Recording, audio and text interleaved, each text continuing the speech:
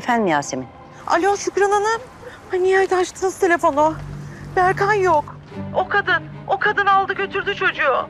Ne diyorsun sen Yasemin? Bir kadın teyzesiyim dedi. Hediye getirdim dedi. Aldı götürdü çocuğu. Nasıl? Tuncay! Tuncay oğlum Tuncay! Anne ne oluyor? Anne, anne, anne. Anneciğim dur dur. Tuncay! Tuncay oğlum! Tuncay! Tuncay! Anne. Anne tamam. Bir kadın, Anne ne oldu? Bir kadın gelmiş teyzesiyim demiş. Berkay'ı alıp götürmüş oğlum. Nihan. Elif. Elif. Elif Berkay. Anne, anne, Anne. anne. Anne. Anne. Bayıldı. Anne duyuyor musun beni? Doktor. Anne duyuyor musun beni? Doktor. Anne. Su içelim. Anne yap. Anne duyuyor musun? Anneciğim. Anne. Anne. Anneciğim şunu iç. Anne. İç ne olursun. Elif, Nihan, Nihan. Nihan Berkay'ı kaçırmış. Tamam anneciğim ben bulacağım Berkay'ı tamam mı? Habersiz bırakmayın bizi. Nihan. Tamam sakin. İyi misin Şükran Hanım? İyiyim, iyiyim yavrum, iyiyim. Hadi siz atın imzanızı. Saçmalama düğün iptal. Berkay'ı bulacağız. Tamam anneciğim tamam. Sakinleyin biraz.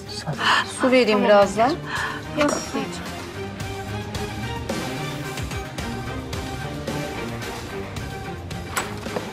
Anlamalıydım zaten. Çocuğu istiyordu. İkna ettiğimi düşündüm. Edememiş. Aptal herif. Tamam sakin ol. Sakinim. Gel polise gidiyoruz. Ne oluyor Sibel? Niye iptal ettin düğünü? Zaten masada da dondunuz kaldınız. O Elif denen kız niye sana öyle bakıyordu? Ya affedersiniz Sibel'le bir yalnız konuşabilir miyiz? Tabii.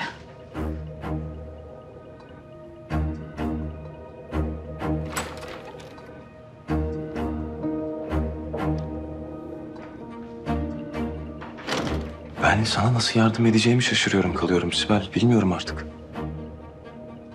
Ne saklıyorsun sen benden? Hiçbir şey. Bana pek öyle gelmedi Sibel. Yeğenim kayıp. Yani bu şekilde imza atamazdık ya. Yeni kaybolduğu için de bizim nikahımız kıyılamıyor şu an. Elif'le konuştuktan sonra bir bir tavırlandın Sibel. Ne dedi sana bir söyler misin bana lütfen? Hiçbir şey.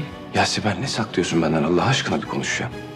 Yani Elif sana ne demiş olabilir ki senin kafan çok karışık duruyor.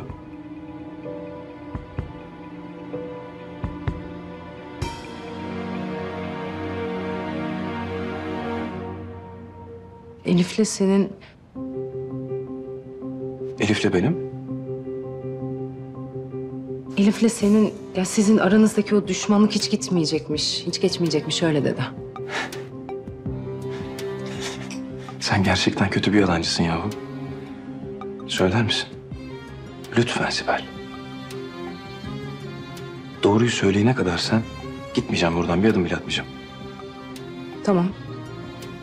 O zaman ben giderim. Yine başladık ya.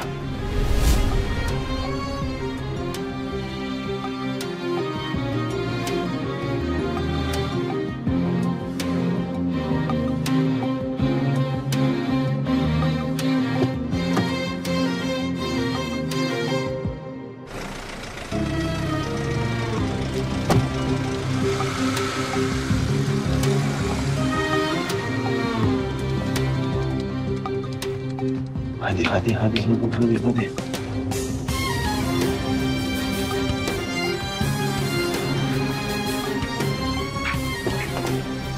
Öndeki araç. Öndeki araç takip edeceğiz. Yenge ne yaptın da nikah masasında bıraktı seni? Benim kayınçonun da başına geldi. Hak etmişti ama. Çekirge bir sıçrar, iki sıçrar. Şansına üçüncüsü nikah gününe denk geldi. Yabancı bir hanımla basıldı. Abi senin kayınço şu an gerçekten benim hiç ilgimi çekmiyor ya. Öndeki araçta sen gözlerini ayırmazsan çok sevineceğim. Hani Değmez ablacığım, üzülme. Ne yaptı damat? Benim baldızın başına da geldiydi aynısı. İşinize bakın lütfen. Konuşmazsanız daha hızlı sürebilirsiniz. Eğer Erhan bu bebeğin ondan olduğunu öğrenirse Sibel'le asla mutlu olamayacak. Onlar da bana yaşattıkları acıları yaşayacaklar.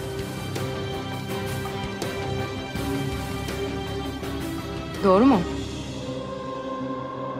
Bebek Erhan'ın mı? Doğru. Bebeğimin babası Erhan. Ama hiç kimseye söyleme. Sürpriz olacak. Ne yapacaksın peki? Canım ne isterse onu yapacağım. Erhan'la aramda artık hiç kopmayacak bir bağ var. Erhan bu bebeğin babası olduğunu öğrendiğinde... ...senin yanında kalacak mı zannediyorsun?